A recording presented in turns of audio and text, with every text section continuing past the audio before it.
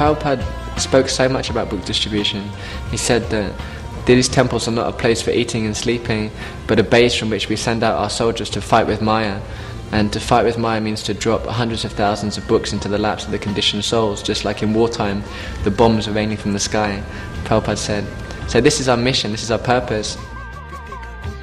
As it's described, that the associates of Lord Chaitanya were soldiers. And, uh, his Srivas, Nityananda, Advaitacharya is like generals, and you know Prabhupada is often referred to as a Sankirtan general.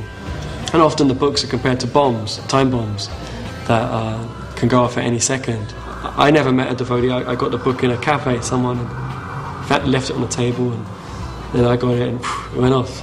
Prabhupada always says that book distribution is our main activity, and uh, and he said that uh, his books will be the law books of mankind for the next 10,000 years.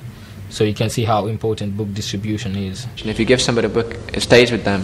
Prabhupada said that books are as good as deities. So when they enter into somebody's house, it's the same as having Krishna there in their home. And just by seeing that book, Bhagavatam explains that this is the literary incarnation of God. It's non-different than Krishna.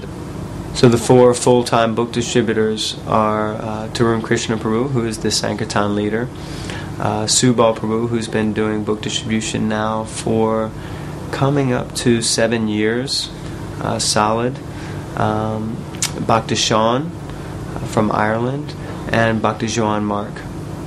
And then we have Mother Sharada, who's doing book distribution at lunchtime every day, usually.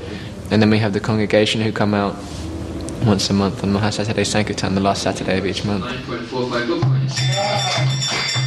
Practice Sean Prabhu collected 55 Lakshmi points, distributing 30 small books, 7 big books for 11.5 book. My activities in the temple were sleeping, honoring prasadam, uh, chanting Hare Krishna, kirtan, a little bit of pujari service, uh, playing mridanga, um, reading, studying, and also um, five, six days a week I go out and distribute um, BBT publications, mostly written by Srila Prabhupada on Oxford Street and surrounding areas.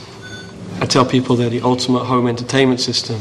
Uh, people spend thousands of pounds on DVDs and MP3s, TVs, big you know screens and PlayStations. What's a new one? PSP, Game Boy, dual screen, and they spend so much money on CDs. But all you need is a set of Srila Prabhupada's books. All you need is Bhagavad Gita, Srimad Bhagavatam, Chaitanya Charitamrita. That's a, for the big sets, just a few hundred pounds. It'll keep you going for the rest of your life. So yeah, it's very blissful activity, and to not do it is very difficult. Once you've got that taste, and then you have to go and do something else. Like for myself, I have to do some management or stay back some days. It's very difficult to not go out. It's so blissful. So I recommend everybody to get that taste. Well, if you go on Oxford Street, there's not there's no old people hardly. Uh, the people are kind of good looking, trendies, and they think they're happy. They've got their youth, their health, they've got money, um, well, i've got a credit card at least. Um, and so you know, you need to be convinced that these people need Krishna. And I'd like to do traveling Sankirtan to get a motorhome and to um, go out with the devotees in that facility because although this is a wonderful temple, there's many different things that are going on. So for traveling Sankirtan, then it's just three or four of you living in a van, and that's all you do. The clay mridanga that we have, we can just sound it and it will just sound in the room here. But book distribution is a Brihad Mridanga. It is being sounded all over the world and purifying the lives of many, like thousands of people every day. There's a special reciprocation there from Krishna because the preaching is so solid yeah, there's nothing so ecstatic as giving somebody a book